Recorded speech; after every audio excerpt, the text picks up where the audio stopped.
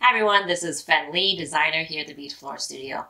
The art of French beaded flowers is one of the oldest beaded art forms. And I was asked by the Loose Bead Society of Wisconsin um, to do a presentation on the art of French beaded flowers. And they were courteous enough to allow me to um, have the presentation broadcasted live so that all of you can watch it too. On the day of the presentation, um, there were some technical difficulties with their computer and also the projector. Um, so in this video, I added in the presentation slides so that you can see it clearly. Um, so in this video, you will learn about the history, um, the techniques, today's designers, and also the recent innovations with French beaded flowers. Enjoy. Lee, and I'm here to talk to you about French beaded flowers tonight. I'm one of the leading designers in this genre of beading today. Um, before I dive in, I want to thank you all for inviting me here to speak with you tonight. And um, I also want to say hi to those that are currently watching on Facebook Live right now. um, uh, good morning, good evening, um, wherever you are. Um, when I first um, started making beaded flowers, I considered joining the Loose Bead Society. So it is um, a great honor to be standing up here and talking with you all right now. Um, but being an introvert with social anxiety, I didn't. um, but hey, look at me now, standing up here talking to all of you and having all this broadcasted live. Um, I actually um, lived in New Berlin for um, over 10 years before I moved to Waukesha. Um, I went to school at Eisenhower Middle High School, and I actually finished the very first draft of my book at this very library.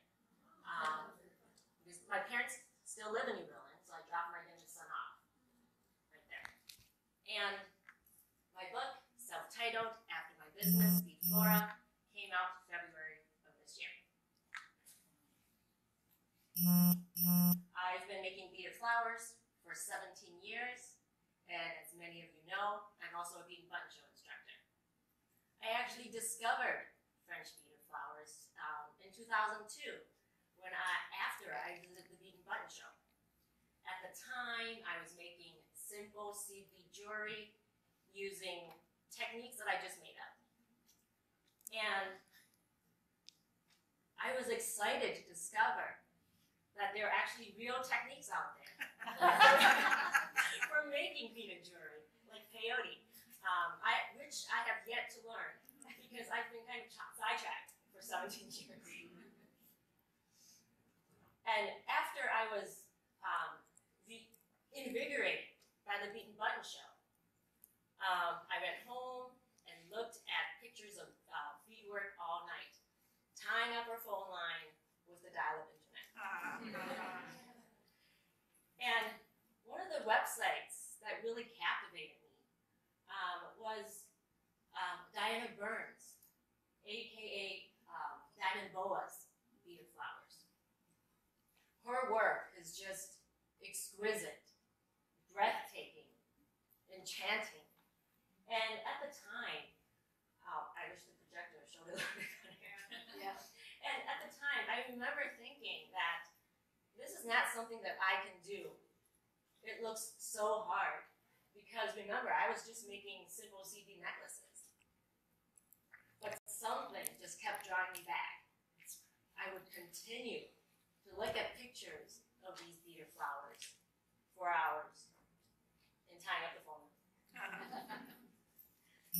and I finally found um, some beaded flower tutorials. And my very first beaded flower that I made was not in the French technique. It was actually in the Victorian technique. And, and then I found a French tutorial, and then I was trying to make a French beaded flower using Victorian techniques. It was just a big mess. but I finally found a French uh, beaded tutorial. Um, and this was the first flower, one of the first flowers that I ever made And it was a pattern by um, author Dalene Kelly. Uh, Dalene is an author of two books, And Flowers' Millennium Commission. And looking back at this flower that I made, the assembly was just a mess, a hot mess. Um, but the technique, it was not horrible. It was pretty good. Um, it was not perfect, but it was good for a beginner. So I'm actually pretty proud of myself for that. And that is how I started making now, let's talk a little bit about the history of beaded flowers. It is considered to be one of the oldest beaded art forms. The history is kind of unclear. It may not necessarily have originated in France. Um, it is said to have originated somewhere in the, in the six, mid 1600s. And so the myth goes that French maids would gather up discarded beads from making extravagant gowns for royalty. And then they would string them on wire. And then they would form them into beaded flowers. And because fresh flowers are not always in season, they would use beaded flowers instead for memorial purposes. They would attach the beaded flowers and place them on grave sites. And these graves are called immortelles, or meaning everlasting. And it is my speculation that it's called French beaded flowers is because of the popularity of the immortelle. But according to Ragnar Levi, author of the book Flower was a popular craft in Central Europe. Um, it probably originated somewhere in Central Europe. Um, it was a popular craft in France, um, England, and Italy. And I think it most likely originated in England. And speaking of Ragnar Levi, um, I sent him an advance copy of my book for review, and he wrote an incredible foreword. I was so touched when I read it. Ragnar is a collector of beaded flowers and is an expert on the history of beaded flowers. Um, one of his collections is currently at the Glass Museum in Denmark, and his exhibition is called Sew Flowers on the Pan.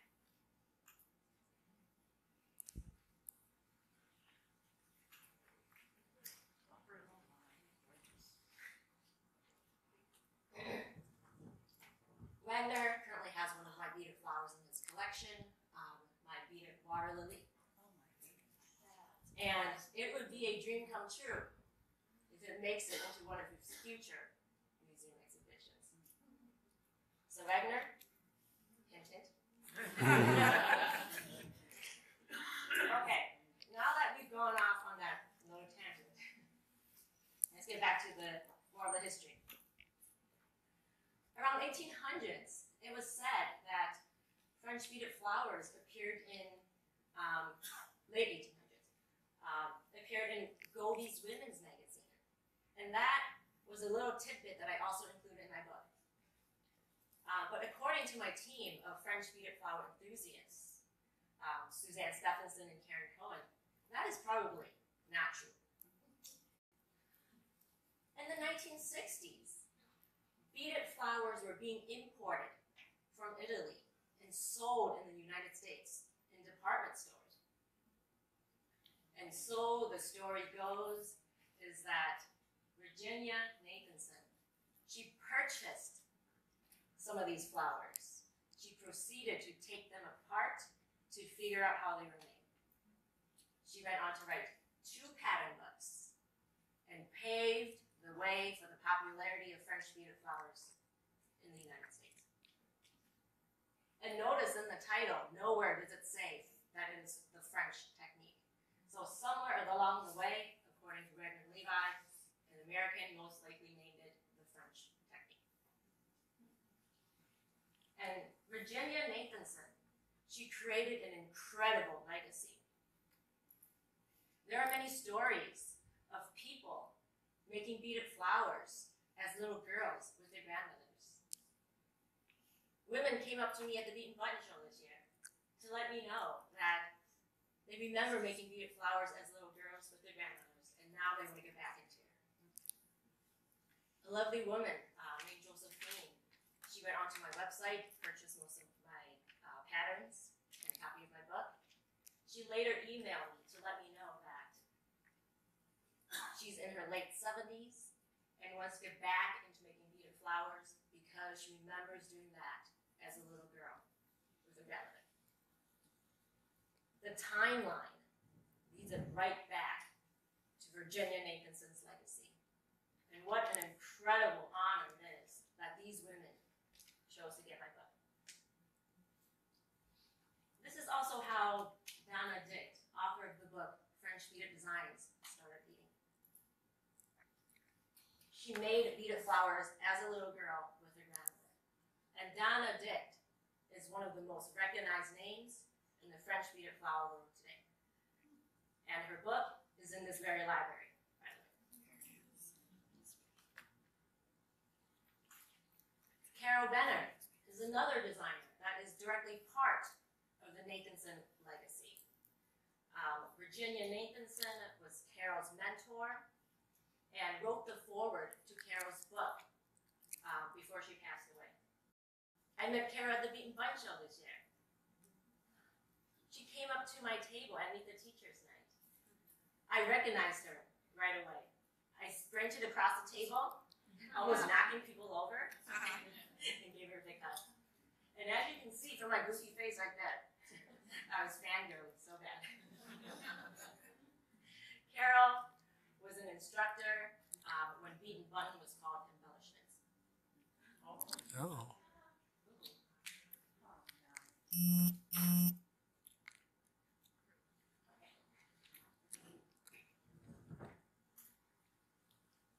Now, designs, evolved with a new generation of designers, and these are no longer your grandmother's beater flowers. This is one of Donna Dick's most recent designs with beaded geraniums, and the other one is of her grandmother's. And as you can see, there is an evolution of technique. Today's designers are striving for more realism than ever before, sometimes you can't tell if the flowers are real or beaded.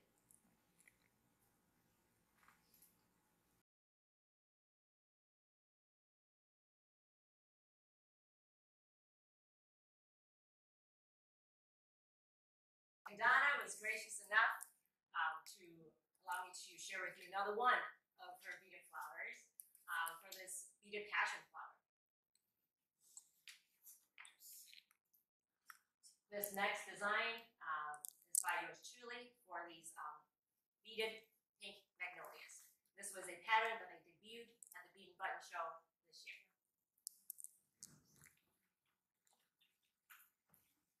Next um, is another design by me for these uh, beaded crocuses. You can probably see it better later. I'll start to read. um, I purchased these crocuses at the beginning of the season. And you know this crazy Wisconsin weather. It didn't it was still snowing at the end of April. So and it was wilting, it's starting to wilt in the house before I had a chance to plant it outside. So I quickly did a flower study and made the beaded version. So now it's here forever.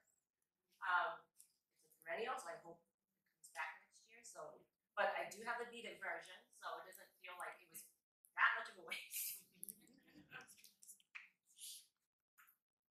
okay, this next star gazer lily design is by an American designer, Lauren Harpster. Lauren and I, we normally come up with our own variations of techniques, and usually around the same time. It's kind of eerie and fascinating.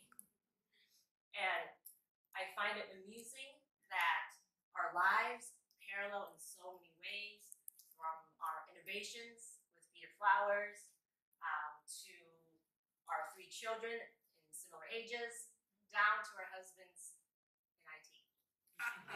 Wow. so if there is one person in this world that understands all of my craziness in all of its entirety, it's Lauren.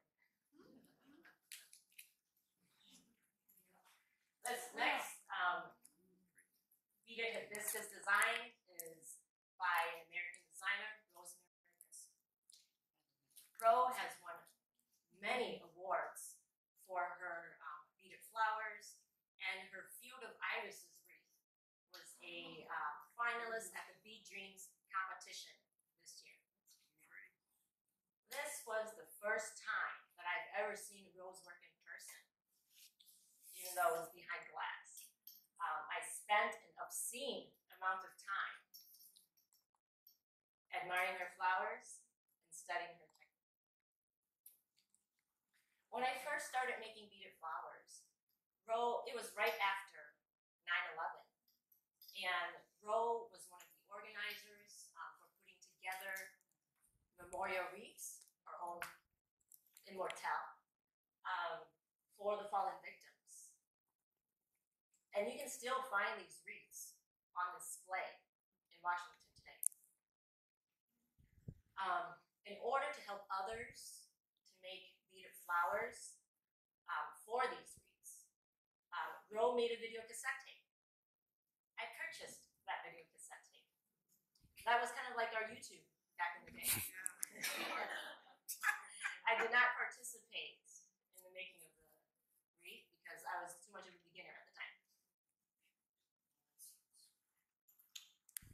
This next beaded sunflower design is by a Russian designer, Svetlana. Svetlana was supposed to be teaching alongside me at the Bead and Button Show this year. And we were both very excited to be finally meeting each other because we've been fans of each other's work for years. Uh, but due to international travel reasons, she had to cancel her already booked classes. Um, we were going to exchange our books um, at the show. Uh, we did that through the mail instead, hope to meet each other at the Button 2020. Now, all of these designers that I showed you, these are my designer friends that, like me, are continually coming up with new techniques to revitalize this ancient art form. And I've said this in the past, and I will continue to say it. We are in the midst of a French beaded flower. And you, my friends, that are sitting right there in the audience tonight, you are in one of the learning hotspots because you can find me teaching at Not Just Beads in. Now that we talked about, uh, now that I showed you some of these flowers from my designer friends, let's talk about the design process of how I get from real flower to beaded flower. And I'm going to use my um, pink magnolia as an example. really is pink. I'm sorry. Now, step one. Normally, during this step, I will look at the overall stem and draw out generally where everything is in my notebook. I will measure out everything and notate the lengths of the stems. Step two. Now, this step normally involves some sacrifice from our flowers. I will, depending on the size of the flower, I will sit there pluck off every single petal off the flower, um, and kind of put them in categories of the different shapes. And then I would trace them on paper and notate how many of those same shape petals there are. And during this step, I normally have an idea of what technique I want to use. And if I don't, I will file it in the back of my head, and it may come to me later. And that was the case um, for the pink magnolias because from the initial flower study to the completion of the project, it was two years. Because I just didn't get to it yet. now, step three. Um, this is where I do the beading sample. And at this point, color is irrelevant. I'm not matching, I'm not wasting time do it all in one color using a cheap wire. So whatever beads that are next to me at the time, that's the color that I am using. Because I just want to get the shape of the petal right.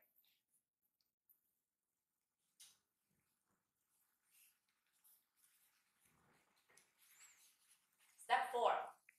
This is where I make all the components. Now with the pink magnolia, because of the different color variations, um, I had to do, of course, more than just one sample. I had to do the second sample with just the colors also after I did the actual shapes. Then I made all the components, and this is the final product. You can see it better up here. Yeah. Now this pink magnolia pattern, it was not any one specific variety. It was a, I actually did two flower studies. Um, I had friends who were gracious enough to allow me to pluck stems of flowers from their trees.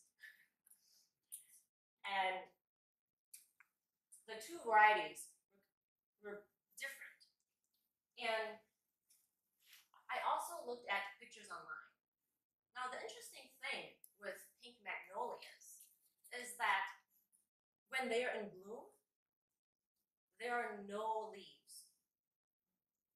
And their sepals are kind of like a murky, brownish green. And it's not that attractive when translated into beaded flowers. And I found some pictures online where they actually have green sepals and green leaves. So since I knew that it existed in nature, I went with it.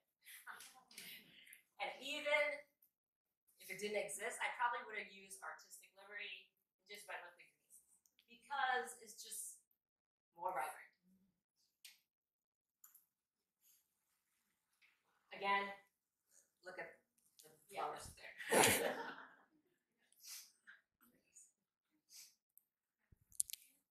But now you don't have to beat it up and it Right. right. Because you know the glue. Okay, now that we've talked a little bit about the design process, uh, let's talk technique. Over the years, I've um, come up with um, many techniques that I've introduced in my book and also in many YouTube videos. But before we get to the innovations, we must understand the basics.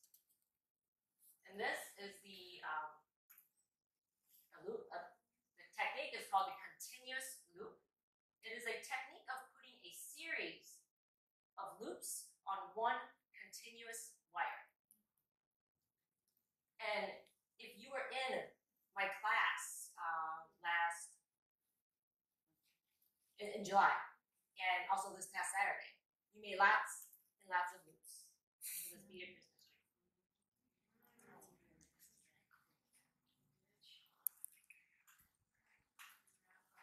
This next technique is called the basic frame. It is the basic framework for making most petals and leaves. Um, the basic framework includes a top wire, a middle twisted wire, and then the loops. And we wrap the beads around the beads in the middle to create rows. And this is an example of a beaded leaf.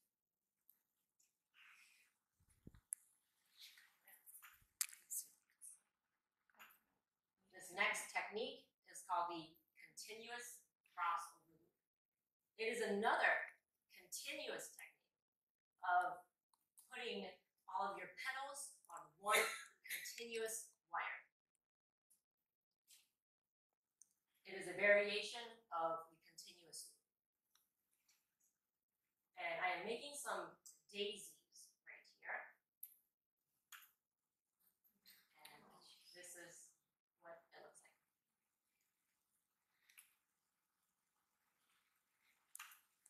The next technique is called a continuous wraparound loop. Again, it is another continuous uh, continuous technique. See a theme there?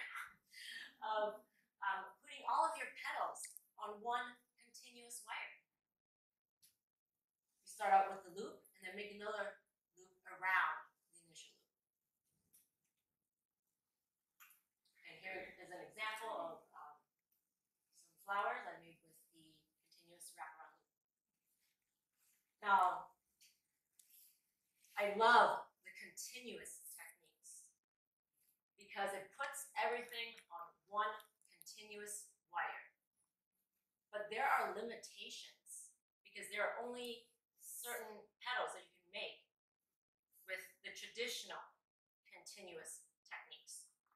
Um, for example, most of the, the tops, they can only be rounded. You can't make pointed tops traditional continuous techniques.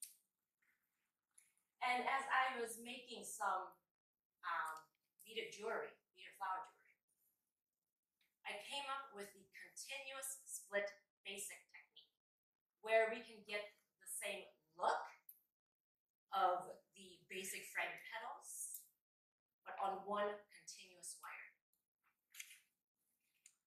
Now, if it were to, if a flower has a lot of petals, then the stem is going to be very, very bulky. And let's talk about um, this water lily. If I were to make this water lily using the traditional basic frame techniques, I would have 34 individual petals and 10 sepals.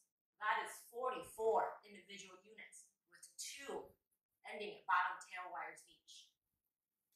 That's 88 total tail wires. That's going to make for a very bulky stem. But with my continuous split basic technique, we are able to get the same look,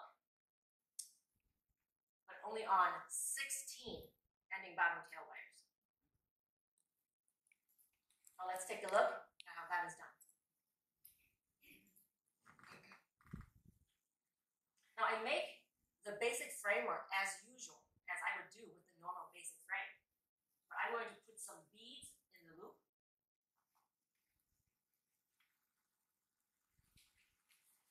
And leave the top wire to be extremely long.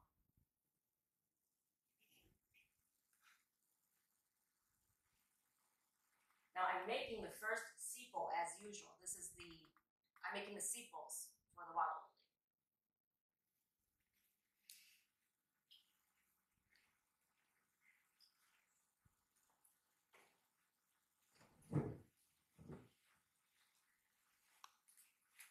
to bend the top wire down and wrap it around to make another twisted wire so that I can make another sepal right next to the first one.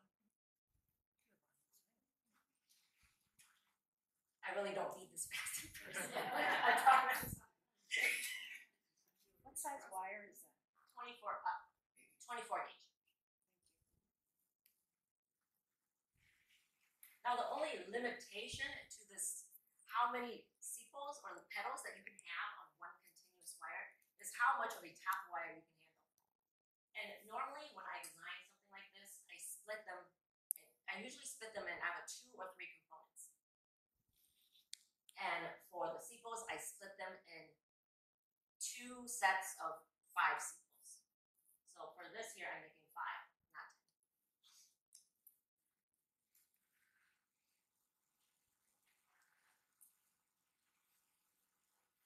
So after this third sepal is when I'm going to do the split. And when I bend this top wire down and around, that's going to be one of my ending tail wires. Now I'm splitting the beads in the loop in half and then cutting it so that there is two more wires that I can put two more sepals on.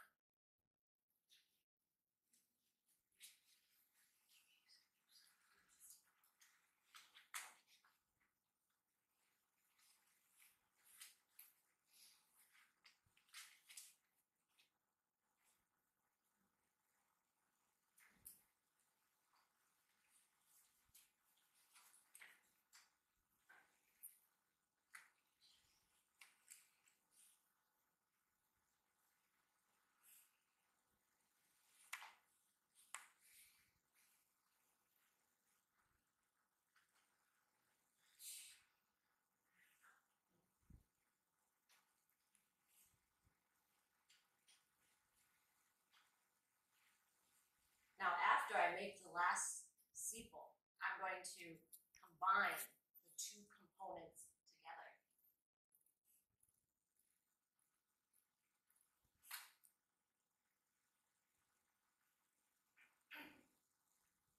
Okay, now that I've made two sets of these, I'm just combining and twisting the adjacent wires from the two components together. And now we have one huge component. If I were to make this traditionally, I would have 10 units with two ending bottom tail wires each. That's 20 total ending bottom tail wires. Even if you were to reduce um, one tail wire from each, that would still be 10. But with this here, we only have four. And that makes for a very slim stem. And that is what it looks like in nature. When my husband and my two children plucked it from the pond for me last year.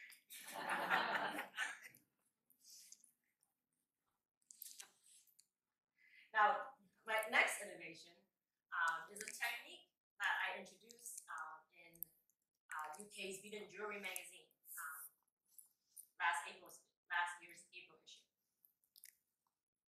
And this is a variation of a of the continuous wraparound loop, where I make another wrap around two continuous wraparound loops to create heart shapes. And this technique allows you to create variations of heart-shaped petals. It's all on one continuous wire. That's supposed to be red and yellow.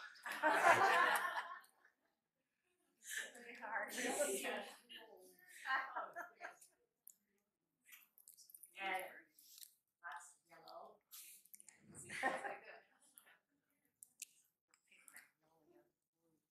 Now, we're getting to some more exciting techniques with one wire construction. For a long time, for a while, I was obsessed with making, um, but one of my side hobbies is making uh, wire wrap jewelry. And for a long time, I was obsessed with making wire wrap pearl necklaces. And while I have made beaded flower jewelry before, there are again very um, there are a lot of limitations because of the bottom tail wires. now, with this, with this earring, I was able to put everything on one continuous wire.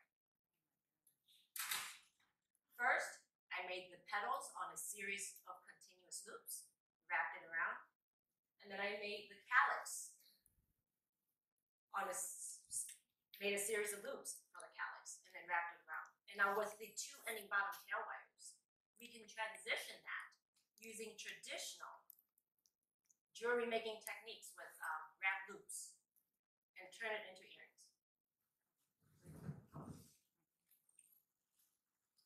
That's a simple design. Now we have these uh, spring flower earrings, a little bit more advanced. Um, if I were to make this flower traditionally, I would have three separate components with six ending bottom tail wires. With this, I made it all on one wire. Um, with the center, I made a series of loops. The petals, I made another series of continuous wraparound loops, and then wrapped it around. And then um, can't see it that well in the picture, but um, for the calyx, I made another series of loops and wrapped it around. And with the two ending bottom tail wires, I transitioned that using traditional jewelry making techniques for wrap loops and transitioned it seamlessly into earrings. Now we get do more exciting stuff. Um, brooches. If I were to make this traditionally, there would be five separate components with 10 ending bottom tail wires each. And normally, what designers have done in the past is to incorporate the stem as part of the design for their brooches. Now, you know the problem with that is it would goof on your shirt. And what I have also done is to wrap the wire around um, the bottom, snip off as much as I can. But then I'm going to use findings such as perforated discs and glue um, to glue the findings on. But with this, the brooch is not an afterthought. The first thing that I do is to attach brooch pin onto the wire. This is all made on one wire. I attach it on the brooch first, and then I make a series of petals, um, the inner petals, wrapped it around. Then I made the second layer of petals, and then wrapped it around. And then the third, and then the leaves and the calyx. And with the two ending bottom tail wires, I wrap that the flower and the brooch. Tighten that, snip it off, tuck it in, and it is seamless. You don't have any bottom tail wires to worry about. And to make it a little bit fancier, I cut a nice little fabric circle and glued it over the, the, the wrap wire. You don't have to do that. It's done, but it just makes it a little fancier. And I also added a fabric label that I glued on. So, so if you want to sell your work, that just gives it an extra nice touch. And now we get to more exciting stuff. Um, making actual components um, with beaded flowers. If I were to make this flower, traditionally, we are looking at 11 total ending bottom tail wires. Oh, yes, we would have 11 components with 22 ending bottom tail wires. There is no way that this can be a pendant or a jewelry. Um, the way that I made this was first, I started with the center, then made a series of loops, and then using a variation of my continuous split basic technique, um, made the petals, and then the calyx. And then with the two ending bottom tail wires, I transitioned it so that there's a wrap loop wherever you want it. So I had a wrap looped uh, right over there and right over there because that's how I wanted to connect the flowers. You can leave it as one and have it just as a pendant. Um, well, the middle one over there, I had three wrap loops. I just added some wire and then connected, made another wrap loop. So this is really exciting stuff. to because traditionally you would not be able to make jewelry like this. Because if you look around, I'm wearing a variation of this necklace, it's flat. It lies flat on my skin. There's no poking me because everything is just transition seamlessly.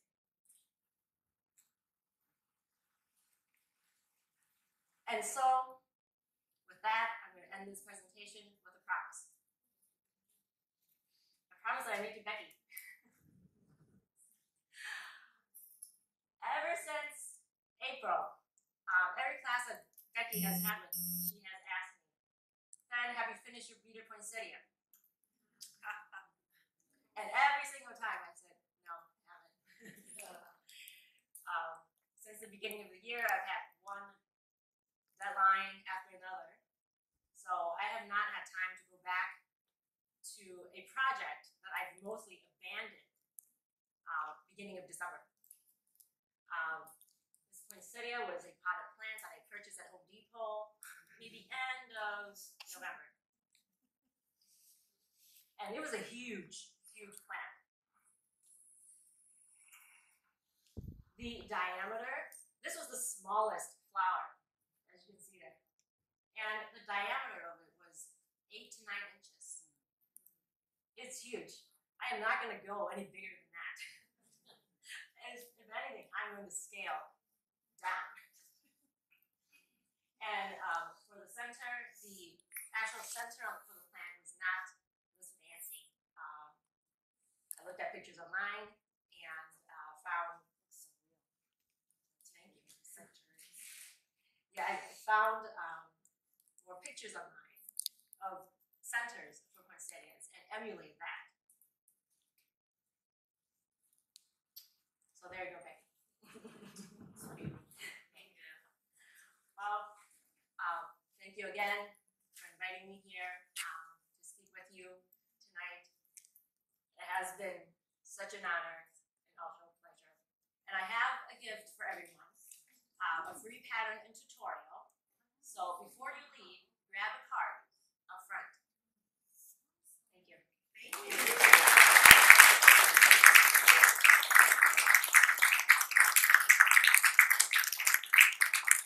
Does anybody have any questions? So uh, how long did it take you to make each of the petals on the poinsettia? Like, I don't remember. okay, let's talk the smallest one. Maybe about five ten minutes. Wow. Yeah, five minutes maybe. To we string the beads on to the wire and we work off of the spool. And if it is one color, it goes really quick. Oh, so how about the magnolia when it's got the? For something like the pink magnolia, I would need to cut a whole length of really long length of wire. And then I would alternate between the colors. And for So you're counting, or you're just measuring? You know, Right, yeah, I'm inch? not, yeah, I'm not. Um, and for five, I remember one time that I, I was, when I was making it, I remember I was, I did five petals in three hours. Wow. That's because of the color, I have to switch the colors for the shade. It was just switching back and forth. But if it's something that's on one continuous wire already, it doesn't take that long. So I wanna guess maybe this one, I wanna say, I can't even guess, maybe half an hour. or so. Wow, that's just my guess. What's the difference between the French and the Victorian? Um, the Victorian technique is where they pass the beads through the, I mean, pass the wires through the beads twice. You would have the beads, and then you would um, pass it through once, and then pass it through twice. So it's more like a, it goes like this way. And then the French technique it is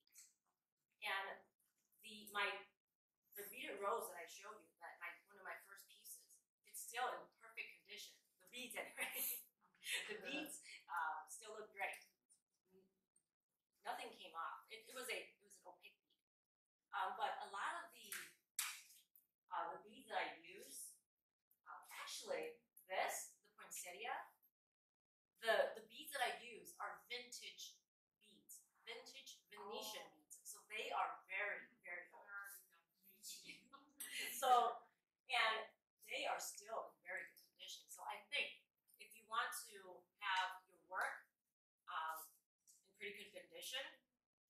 Um, the finishes that I use are transparent because those last for a long time. Transparent and opaque ones are really good. Any other questions? What do you, what causes you to choose to work on a particular flower or plant? Stuff growing in your garden or something you oh. it, or just your whims? Or? Last one.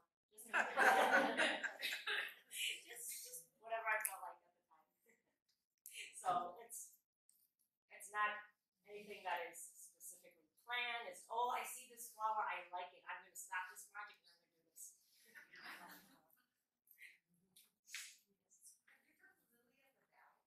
Not yet.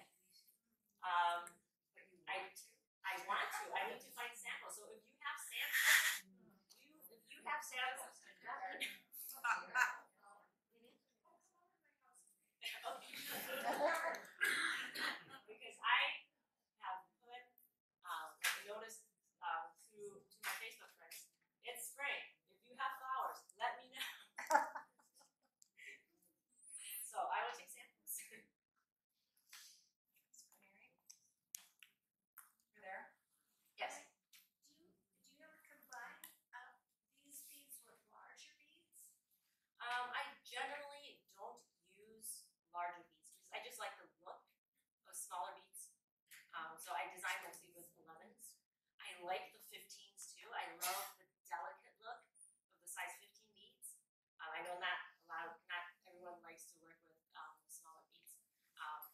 jury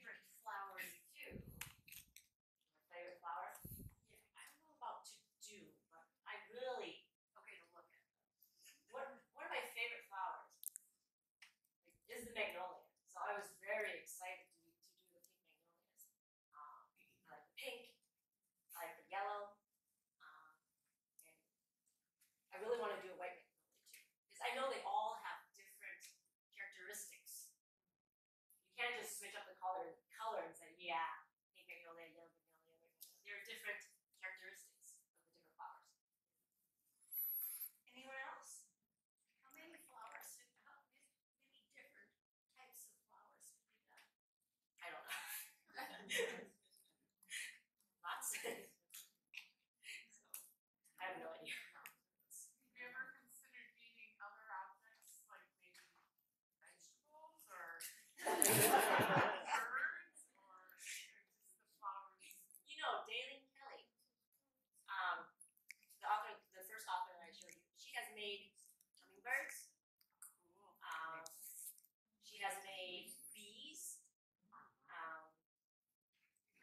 Tự.